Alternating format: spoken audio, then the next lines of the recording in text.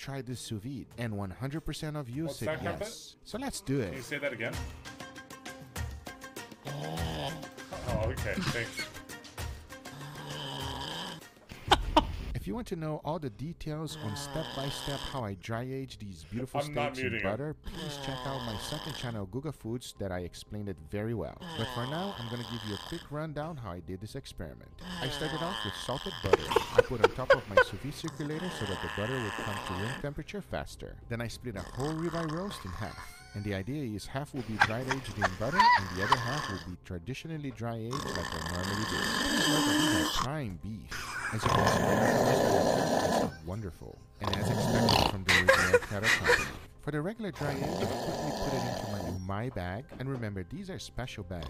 This is not like a regular Ziploc bag at oh home. These bags let moistures out without letting any of the bad stuff get in. After that, I sealed it up and